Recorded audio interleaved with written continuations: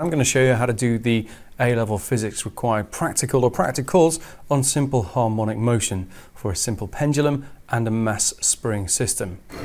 With the pendulum, what we want to do is change the length of the string and then we're going to measure the time period of its oscillations.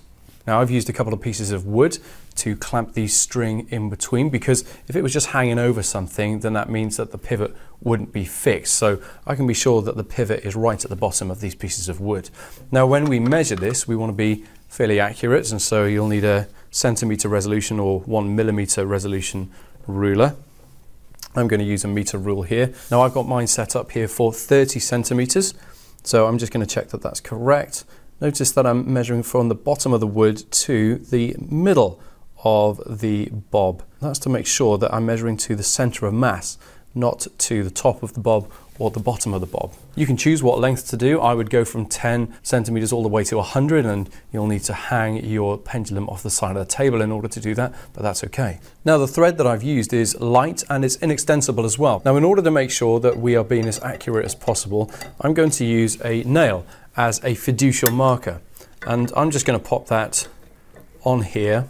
And that's going to be very close to the string, although not touching it. And you don't want it too close because the string will move sideways a little bit as well and it could catch it like that. What you want to do is line up your nail so it's directly behind the piece of string when the pendulum is at equilibrium. Then you want to get on eye level and so if I was doing this experiment I would have my pendulum there and I'd be looking at eye level so I can be sure when the string has gone past equilibrium. So I'm going to displace the pendulum. Now we're going to do it about 10 degrees. We don't want to do it up here. The bigger our amplitude, the less accurate the equation t equals 2 pi root L over G is. So I'm just going to displace it this much.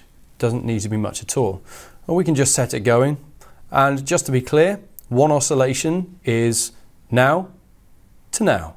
It's not from one side to the other. It needs to go there, back, and to the center again. So I'm going to start my stop clock when it passes equilibrium next. And obviously I would want to be at eye level with the fiducial marker if I was doing this for real. I could measure the time taken for one oscillation, but that's not going to be accurate. So I'm going to measure the time taken for 10 oscillations, then average it. Don't forget that when you start your stop clock, that's zero, and then you're counting one after that. So here we go, starting my stop clock now one, two, three, four, five, six, seven, eight, nine, ten. And that gives me a time of 11.56 seconds.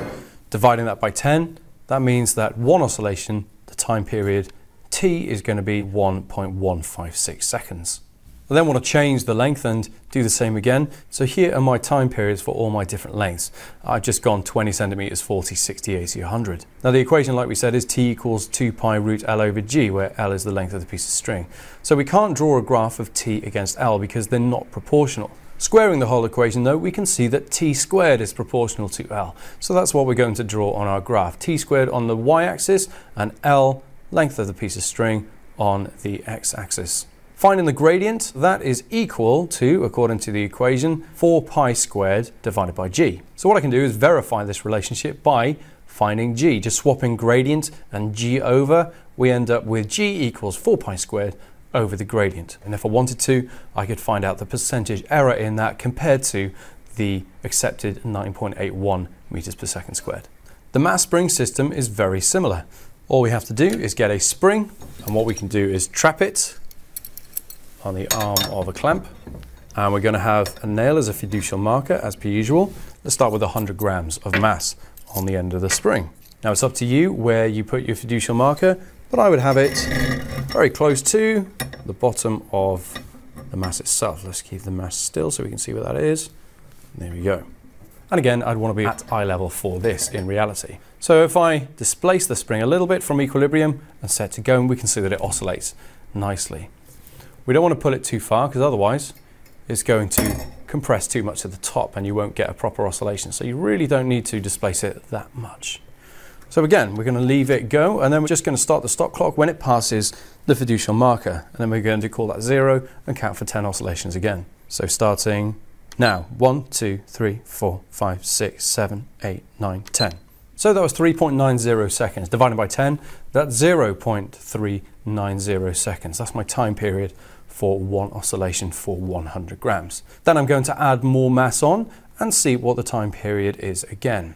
Now that I've done 500 grams or 0.5 kilograms, because I do need to be working in kilograms, I'm going to plot not T against M because similarly to the pendulum, it's not T proportional to M. The equation is T equals 2 pi times the square root of M over K, where M is the mass and K is the spring constant. So squaring the whole thing, T squared equals 4 pi squared times M over K. So if I do a graph of t squared against m, I should end up with a straight line graph that goes to the origin because t squared should be proportional to m. The gradient of this is going to be equal to 4 pi squared over k and just like last time I can swap the gradient in k over and see what k ends up being. To verify this I can actually carry out just the normal Hooke's law experiment to have a graph of force against extension and that will give me an accurate value for k and I can compare the two.